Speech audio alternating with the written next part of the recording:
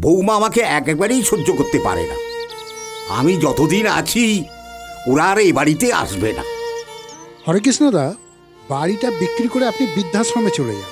আরে এই বয়সে বাবা বাড়ি ছেড়ে কোথায় যাবেন? আমি বাড়ি ছেড়ে যাওয়ার কথা বলছি না। আমি বলতে চাইছি তোমার বাবা যতদিন বেঁচে আছেন ততদিন আমি ওই বাড়িতে গিয়ে থাকতে পারব। একটা কথা বুঝতে পারছি না। আপনার নিজের বাড়ি থাকতে আপনার ছেলে বৌমা ভাড়া ফ্ল্যাটে আছে কেন? কে এলো গো? বৌমা আমি। ও বাবা আপনি? আপনি অনেক দিন বাঁচবেন। এই কিছুক্ষণ আগেই আপনার কথা হচ্ছিল।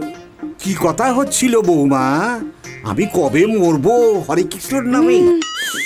যে ছেলে আপনার কথা চিন্তা করে না সেই ছেলের কথা আপনি ভাবছেন কেন?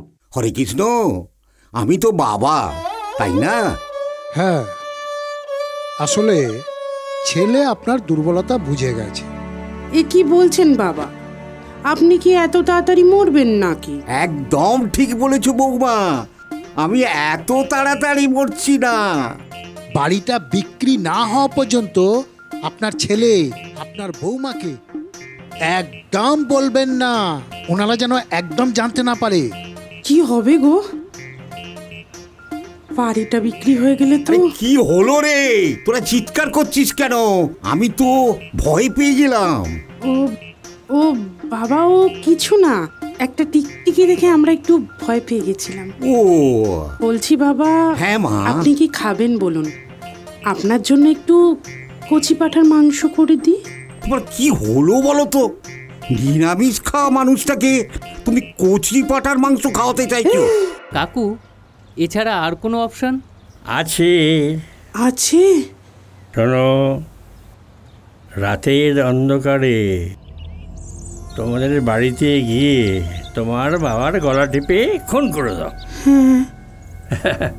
তাহলে সম্পত্তি তোমার। ধরা পড়লে সাজা নইলে রাজা আচ্ছা সূর্য তুই আমাকে একটা কথা বলবি? আজ হঠাৎ তোর বাবার সঙ্গে থাকার ইচ্ছে জাগলো কেন? দেখো অমিতদা আমরা জেনে গেছি তুমি আমাদের ও। বাড়িটা বিক্রি করার জন্য উঠে পড়ে লেগেছো। হ্যাঁ ঠিক বলেছিস। তাতে আমাদের কিছু রোজগার হবে।